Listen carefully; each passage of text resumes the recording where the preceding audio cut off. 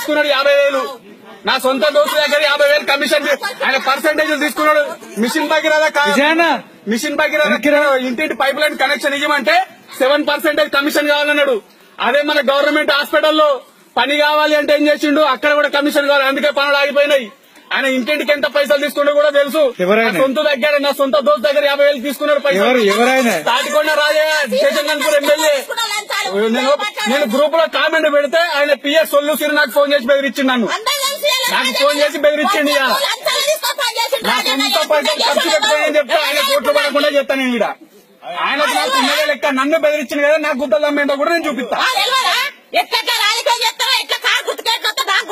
నేను ఐదేళ్ళ ఎంపీ చేసినప్పుడు ఒక వర్క్ చేయలే అంటే నీవు చెప్పిన వాళ్ళందరికీ నీ వాసకు నువ్వే ఇచ్చుకుంటా పోతావు రాజన్ ఎమ్మెల్యే నువ్వు ఉండి మాకు ఏ పనులు చేశావు నువ్వు? ఒక్క లైట్ నీకు? ఒక సీసార్ ఇంకా కాలువలు కాలువలు ఎట్లున్నాయో? ఒక్క కాలువ ఉన్నాయి ఇక్కడ?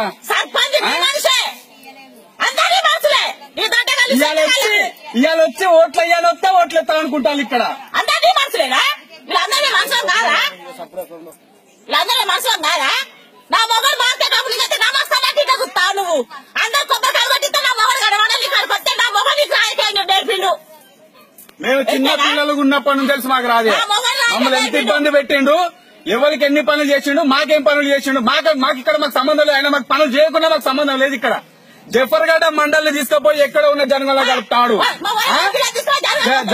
వరంగల్ జిల్లాకు ఉన్న జఫర్గఢ తీసుకుపోయి జనగల కలుపుతాడు. ఆయన సొంత ఆస్తుల కోసం ఆయన సొంత ఆస్తులను విలువ పెంచుకోనికి జఫర్గఢ మండలిని కలిపిండు అక్కడ. ఆయన సంతకాలు పెట్టి ఆయన సంతకం ఫోర్జరీ చేస్తాడా? ఆ?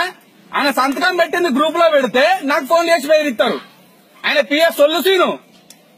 నా- అంతు చూస్తాడట ఆయన. ఆయన అంటే నా అంతు చూస్తాడట. చూడని నాకు సొంత ఖర్చు పెట్టుకొని ఇక్కడ నుంచి ఎన్ని ఓట్లు పడితే నేను చూస్తా.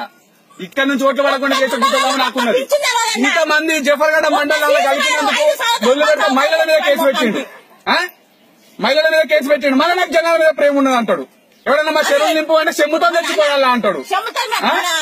ఫస్ట్ వాడు ముత్తాసి మీటింగ్ పెడతా చెప్పుతో పెడతా నేను గెలిచిన సొంత పైసలతో వాళ్ళని జైలు జైల్లో పోయి తీసుకొచ్చుకున్నాను వాళ్ళను. లాయర్ను మాట్లాడుకొని మా సొంత పైసలతో నాకు ఇవన్నీ గుర్తుకు రాలి వాళ్ళ భార్య కొట్టారు ఇవన్నీ నేను?